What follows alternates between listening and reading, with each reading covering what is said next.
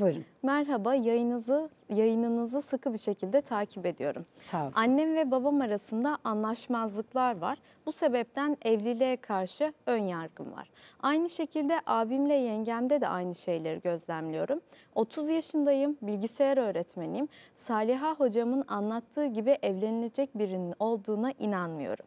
Ay. Evleneceğimiz kişinin iyi biri olduğuna nasıl karar verebiliriz ve 30 yaşında birinin evleneceği kişinin yaş aralığı kaç olmalı demiş seyircimiz. Canım benim. Tatlı hanımefendi, güzel kızım.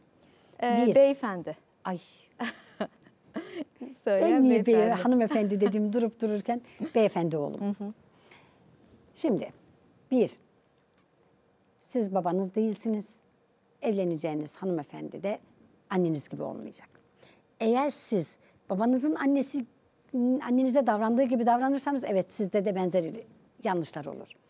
Siz kendinizi düzelttiğinizde siz e, ahlakınızı korumaya, karşınızdakine insan muamelesi yapmaya, ailesini terk etmiş sizin evinize eri bilmiş, annesinin babasını bırakmış sizi eri bilmiş, size sığınmış, sizin yuvanızın eşi olmayı kabul etmiş bir hanımefendiyi mutlu etmek için elinizden geleni yapma niyetiyle hayata e, adım attığınızda, ilişkilere adım attığınızda mutlu olacağınız bir eşi bulmamanız için hiçbir sebep yok.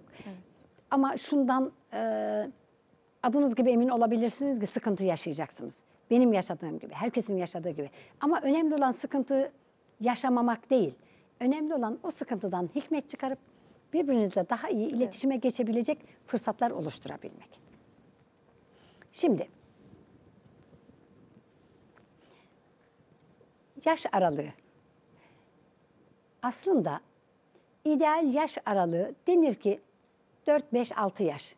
Ama ben bu çok klasik bir şey.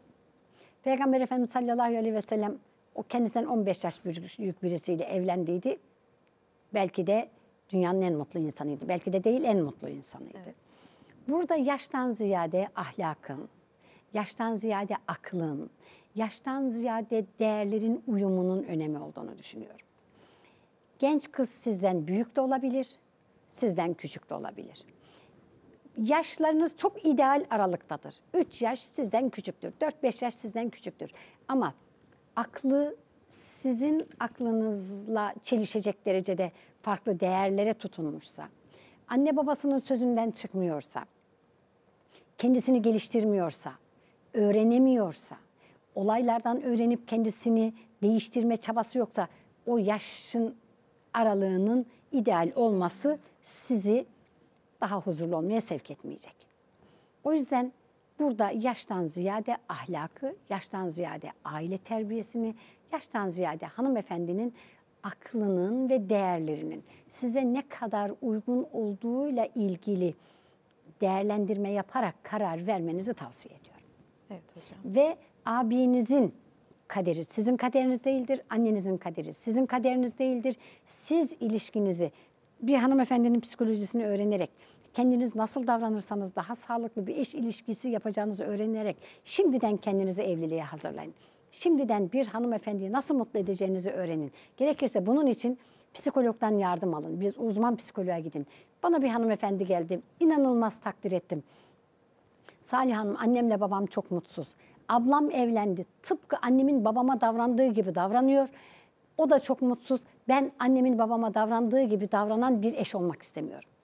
Ben ne yaparsam iyi bir eş olurum diye danışmanlık almaya geldi. Bekar bir kız. Aman Allah'ım ayakta alkışladım, alnından öptüm. Bu ne kadar güzel bir şey. Dolayısıyla siz kendinizi iyi bir evliliğe hazırlayın. Üstelik eş adayını kendiniz seçeceğinizi düşünmeyin. Elbette siz seçeceksiniz ama Allah'tan isteyin. Allah'ın gücü her şeye yeter. Güzel, şirin, sizin onu seveceğiniz, onun sizi seveceği, sizin ona değer katacağınız bir şeyler öğreteceğiniz, onun sizden bir şeyler öğreneceği, size bir şeyler öğreteceği harika bir eşiniz olur, sıkıntınız olur, oturur çözüm üretirsiniz. Karanlık bir tabloya bakarak hayatınızı karartmanın anlamı yok. Kesinlikle Hayat öyle. çok güzel. Eminim siz de çok iyi bir gençsiniz. Allah yolunuzu açık etsin.